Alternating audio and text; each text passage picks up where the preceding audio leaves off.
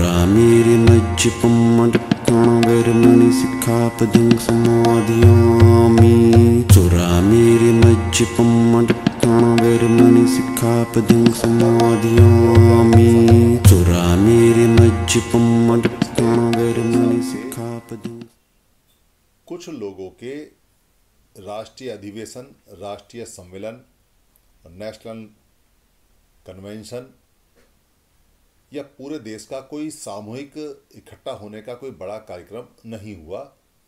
कुछ समूह, कुछ लोगों के ग्रुप्स का। इनको संगठन कहना तो बेकार की बात होगी, क्योंकि ये सभी टुकड़ों में बटे हुए छोटे छोटे ग्रुप्स हैं। तो ये क्या करते हैं? इसको थोड़ा समझ लीजिए। ये अपनी एक परंपरा बना चुके हैं। यानी ये खुद जो परंपराओं को तोड़ने का काम करते हैं इन्होंने खुद एक परंपरा बना ली है। अगस्त में, जुलाई में, बरसात के महीने में ये लोग एक जगह तय करते हैं। कुछ थोड़े से लोग, दो चार लोग, उस जगह को इस हिसाब से तय करते हैं कि लोगों के घूमने का, मनोरंजन का कार्यक्रम हो जाए और वहाँ ये लोग इकट्ठे होकर आपस में विचार विमर्श कर सकें, जिसको अधिवेशन का नाम देते हैं। तो जगह फिक्स होने के बाद में इनका वहाँ का एक आध लोकल आदमी, वहाँ के पुलिस स्टेशन में, वहाँ के एडमिनिस्ट्रेशन में एक अपने ग्रुप के नाम पर वहाँ एप्लीकेशन देता है। वहाँ एक जगह हायर करते हैं, खुली जगह लेते हैं या बंद लेते हैं।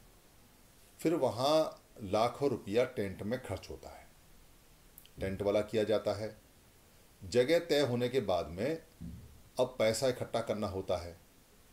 तो पैसा इकट्ठा करने के लिए जो उस समूह के पेटेंट लोग हैं, जो उस समूह के भक्त लोग हैं, वो भक्त लोग जिनको कार्यकर्ता कहा जाता है, सम्मान से कार्य करता है, सम्मानित नाम कार्य करता है और हमारे लिए तो भक्त है।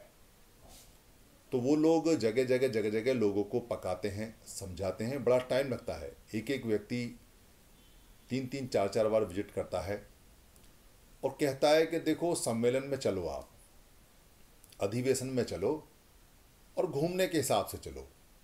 एलटीसी तो मिलती है ना तुमको, सरकारी कर्मचारी हो तो एलटीसी ले लेना, तुम्हारा एलटीसी का पैसा मिल जाएगा, घूमना हो जाएगा और वहाँ तुम्हारा रहना खाना बड़ा सस्ता हो जाएगा और थोड़ा सा अधिवेशन में बैठ के सीख लेना। ये उसको कहा जाता है। नया व्यक्ति ये सोच सोचकर के एलटीसी का पैसा भी मिलेगा और बच्चों का घूमना फिरना भी हो जाएगा। और दिसंबर के लास्ट में छुट्टियाँ बहुत बाकी हैं, छुट्टियाँ पड़ती भी हैं तो छुट्टियाँ लेनी भी नहीं पड़ेंगी तो सारे काम हो जाएँगे और अधिवेशन का अधिवेशन हो जाएगा। तो अधिवेशन में वो खुद उनके रिजर्वेशन कराते हैं और रिजर्वेशन करा करा कर ये तय करते हैं कि कितने लोग आ रहे हैं। वहाँ बाकायदा टेंट में बहुत पैसा खर्च होता है। खाने का रफ एक इंतज़ाम होता है। रफ का मतलब है कि बड़े बड़े जो भगोने हैं, डेगची हैं, उनमें खाना बनता है। कोई साफ़ सफ़ाई का ज़्यादा ध्यान नहीं रह पाता क्योंकि पैसा कम खर्च होता है तो स्टैंडर्ड मेंटेन नहीं हो पाता। मगर चूँकि आग पर पकता है, इसलिए हाइजीन होता है, कोई दिक्कत ऐसी बात होती नहीं है।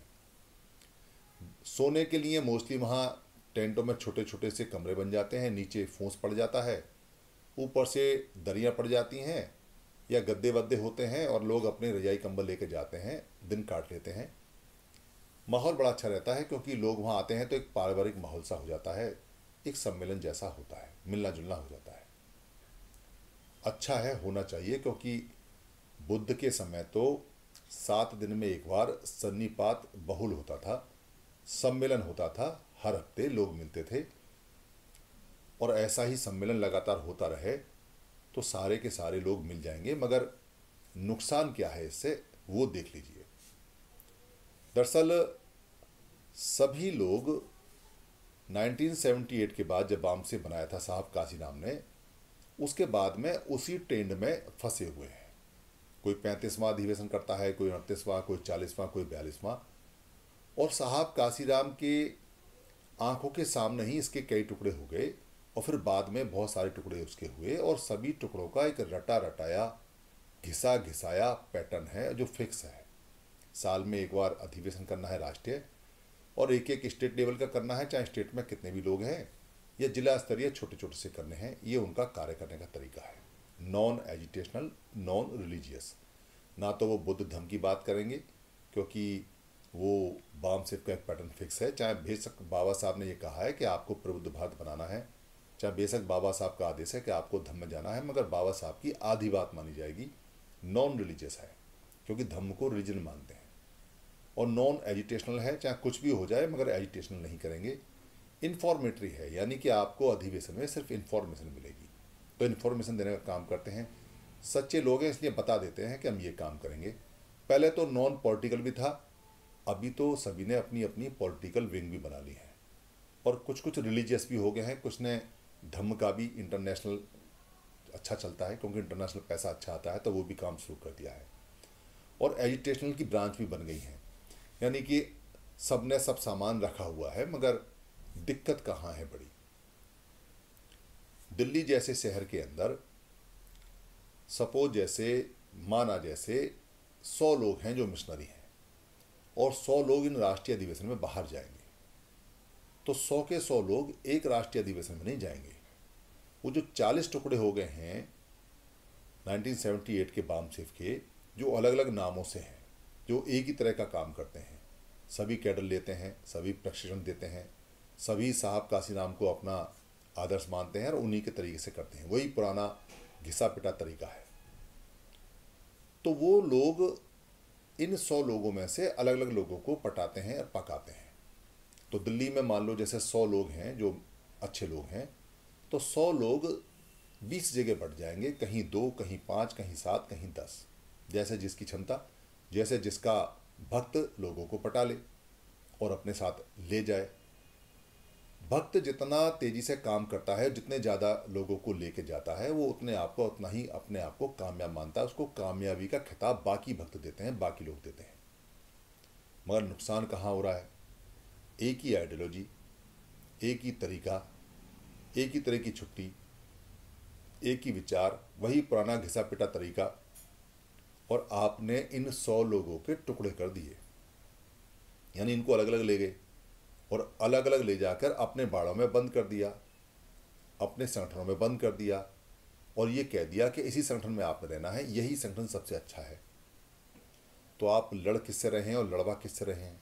दरअसल आप जिसका नाम लेते हैं कि इससे लड़ना है, वहाँ तक तो आप कभी ज़िंदगी में पहुँच ही नहीं सकते। आप तो लोगों के हज़ारों टुकड़ों में बदल रहे हैं, वो तो पहले ही जाति के टुकड़ों से परेशान हैं। बाबा साहब ने जातियाँ ख़त्म की थी, आपने फिर खोल दी, और अब ऊपर से संगठनों के टुकड़े हैं। और कोई भी संगठन का पदाधिकारी जो भक्त बना घूम रहा है, या जो उसका आका है, ये मानने को तैयार नहीं है। वो कहता है कि जितने लोग काम करते सब अच्छा है।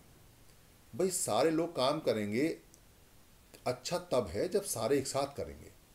सौ लोग अगर दिल्ली से जाने हैं, सौ परिवार अगर दिल्ली से बाहर जाने हैं, या दिल्ली में अधिवेशन लगा है तो दुनिया का कौन सा ऐसा व्यक्ति है जो इस बात को सही कहेगा कि सौ परिवार बीस जगह जाए और अलग अलग जाए?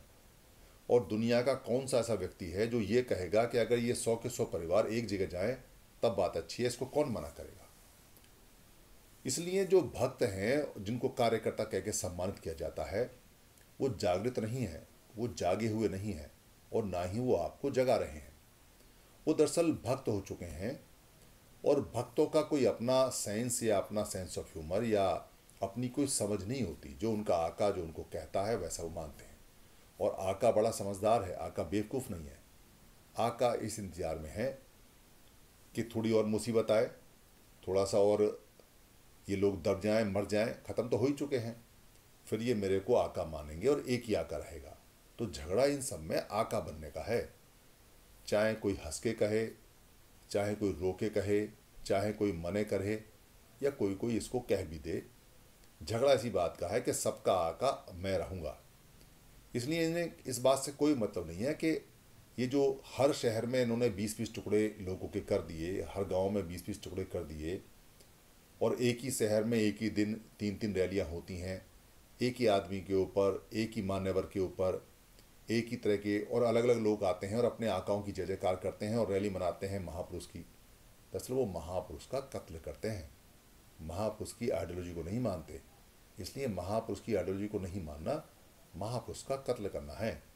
काम अपना कर रहे हैं और जयंती महापुरुष की मना रहे हैं और अलग अलग मना रहे हैं। कितना रोता होगा वो महापुरुष का सच्चा अनुयायी ये देख कर के कैसे मूर्ख लोग हैं। महापुरुष ने सबको इकट्ठा किया और ये सबको अलग अलग करके खुशियाँ मना रहे हैं और एक दूसरे से लड़ रहे हैं। तेरी रैली से मेरी रैली ज़्यादा बड़ी। तेरे लोगों के जमवाड़े से मेरा जमवाड़ा ज़्यादा बड़ा। अरे मूर्ख हो, ये सारे जमवाड़े ही समाज के जमवाड़े हैं। ये सारे जमवाड़े समण समाज के हैं। इनको तोड़ के कौन सी डिग्री ले रहे हो? इनको तोड़ के कौन सा अभिमान कर रहे हो? क्योंकि ये मूर्ख लोग हैं, ये भक्त लोग हैं। इसलिए आप सावधान हो जाइए। ये जो इतने सारे अधिवेशन हो चुके हैं, इनसे थोड़ा सा लाभ हुआ है, मगर नुकसान ज़्यादा हुआ है। थोड़ा सा लाभ क्या हुआ है? आप तक एक विचारधारा पहुँची है। हालाँकि उस विचारधारा में दुश्मन की पहचान ज़्यादा कराई है और दोस्त की पहचान तो कभी कराई नहीं। क्योंकि अगर दोस्त की पहचान कराई होती तो इनको सबसे मिलना पड़ता।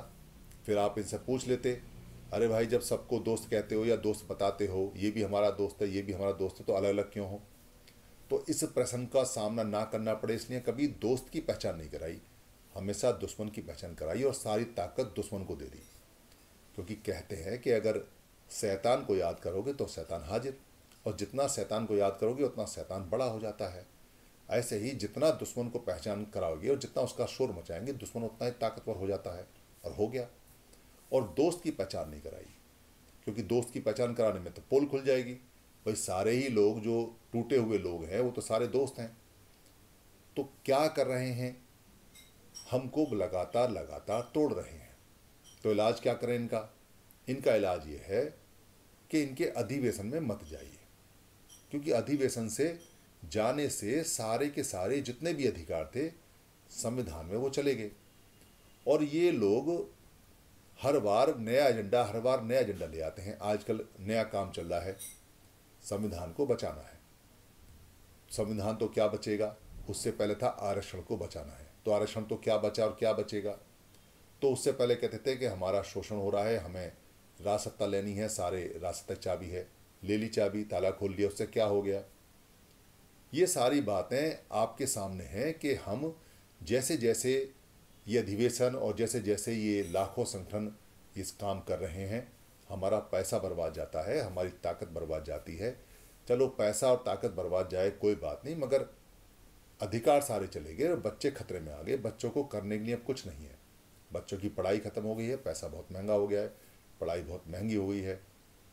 नौकरियाँ जा चुकी हैं, वो ये बचा नहीं पाए, नई नौकरियाँ ले नहीं पाए। जो प्राइवेट सेक्टर था, वो बढ़ गया, सरकारी सेक्टर ख़त्म हो गया, सारी कंपनियाँ बिक गई, जो सरकार की थी। और ऊपर से दिक्कत ये है कि हमारे पास ना ज़मीन है, ना जायदाद है, ना हमारे पास इंडस्ट्री है, ना फैक्ट्री है, कुछ हमारे पास है नहीं। तो करेंगे क्या तो खाएँगे क्या? अभी मौका है थोड़ा बचने का तो इन अधिवेशन में मत जाइए। टिकट अगर आपने रिज़र्व करा भी लिया है तो इस बार मत जाइए और अगली बार भी मत जाइए। उससे क्या होगा? उससे होगा ये कि जब इनके अधिवेशन में लोग नहीं जाएँगे तो इनका मनोबल टूटेगा। जो इनके आका हैं, जो इनके काका हैं, जो इनके भक्त हैं तो वो सोचने पर मजबूर होंगे कि लोग क्यों नहीं आ रहे हैं तो इनकी हिम्मत टूटेगी तो ये एक साथ इकट्ठा होने का सोचेंगे। फिर ये एक साथ इकट्ठे होंगे। जब ये एक साथ इकट्ठे होंगे तो हमारा काम जो सत्तर साल में नहीं हुआ है, वो हो जाएगा। एक साथ इकट्ठे होने से बात बन जाएगी। और अगर आप चले गए अधिवेशन में तो इनकी हिम्मत बढ़ जाएगी। इनको पैसा मिल जाएगा। इनको लगेगा कि अगर हम जमे रहे तो लोग तो आते हैं आते हैं हमारे पास, उनको आना पड़ेगा। तो हम ही लंबी लकीर खींचेंगे तो हम ही राज करेंगे तो हम ही सब कुछ करेंगे। अरे भाई, राज करने की लड़ाई नहीं है। कर लेना राज जिसको करना है। अभी तो जान बचाने की लड़ाई है। ये अपने राज के लिए लड़ रहे हैं और हम अपनी जान बचाने के लिए लड़ रहे हैं। तो हमारा बचना ज़्यादा ज़रूरी है। इनका राज बचे ना बचे, ये जाने। तो हमें अपने आप को बचाने के लिए, इनको सबक सिखाने के लिए, इनकी रसद काटनी होगी, इनको पैसा देना बंद करना होगा। और किसी व्यक्ति ने अगर रिजर्वेशन करा भी लिया है तो इनके अधिवेशन में ना जाए, घूम फिर के आ जाए और अधिवेशन में ना बैठे। और फिर भी अधिवेशन में जाए तो वहाँ जाके एक सवाल करे बार बार आप सबका जब एक ही पिता में है, जब आप सबकी एक ही आइडियोलॉजी है, जब आप सब अंबेडकर का फ़ोटो लगाते हैं, जब आप सब ज्योतिबा फूले का फ़ोटो लगाते हैं, फूले साहू अंबेडकर की बात करते हैं तो ये अधिवेशन अलग अलग क्यों?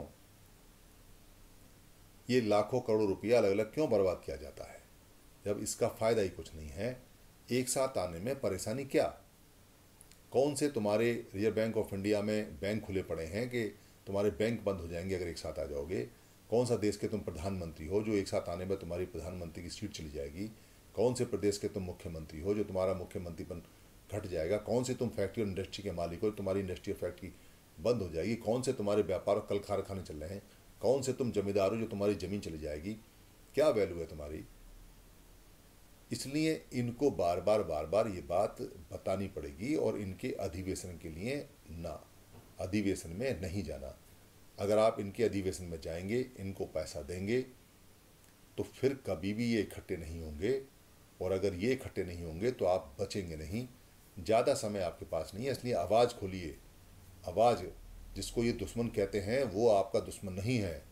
जो ये लाखों टुकड़ों में, हज़ारों टुकड़ों में अलग अलग संगठन, अलग अधिवेशन करते हैं, ये दुश्मन है असली। इनको आप पहचान लीजिए। बाबा साहब अंबेडकर ने कभी नहीं कहा था कि अलग अलग संगठन बनाने हैं। ये बाबा साहब की हत्या और बाबा साहब का कत्ल है, उनके विचारों का कत्ल है। ज्योतिबा फुले ने कब कहा था कि अलग अलग संगठन बनाना? बाबा साहब ने कब कहा था?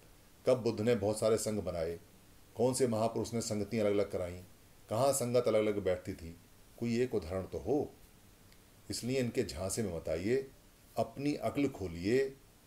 Open your mind. अपने मन को खोलिए। अपनी समझ को खोलिए। और इनके अधिवेशनों को स्टेट फॉरवर्ड ना कर दीजिए। और कह दीजिए कि हमसे वीदा पीपल ने मना किया हुआ है कि एक भी पैसा नहीं देना है। इकट्ठे होने के लिए पैसे की आवश्यकता नहीं है। और हमें अधिवेशन की आवश्यकता नहीं है। अधिवेशन में क्या करोगे? कुछ बोल के बताओगे तो वीडियो भेज देना, हम सुन लेंगे। मगर अभी तो हमें वो वीडियो चाहिए जिसमें ये मैसेज हो कि सारे के सारे संगठन एक हो गए हैं। सामाजिक एक हो गए हैं, धम्मिक सारे एक हो गए हैं, सरकारी कर्मचारियों के एक हो गए हैं, राजनीतिक लोगों के एक हो गए हैं, लड़कों के दलबल के एक हो गए हैं, जो आर्थिक संगठन हैं वो एक हो गए हैं, जो महिलाओं के हज़ारों चल रहे हैं वो एक हो गए हैं, जो जितने मज़दूरों के हैं वो एक हो गए हैं। हमको सब एक चाहिए।